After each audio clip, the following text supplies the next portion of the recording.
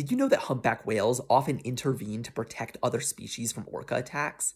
Orcas often attack humpback whale calves, and it makes sense that adult humpbacks would come to the defense of their own calves or those related to them.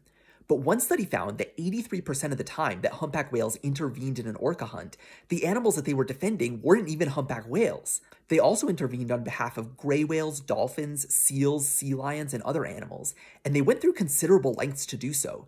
In some cases, humpbacks traveled up to two miles out of their way to intervene in an orca hunt, and in one case, a humpback whale was observed literally holding a seal out of the water on his or her pectoral flipper to protect the seal from the orcas. So why would humpback whales do this?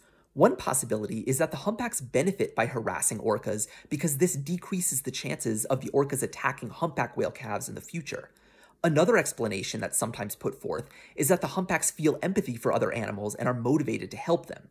These two hypotheses are often presented as if they are alternatives to one another, but actually, they're not mutually exclusive at all. It's entirely possible that the whales are motivated by a sense of empathy, and that the reason they evolved to have this empathy for other species in the first place is because it helps reduce the risk of their own calves being eaten. If you want to learn more about empathy and the roots of morality in animals, check out the longer video linked below, and follow for more content about animal intelligence.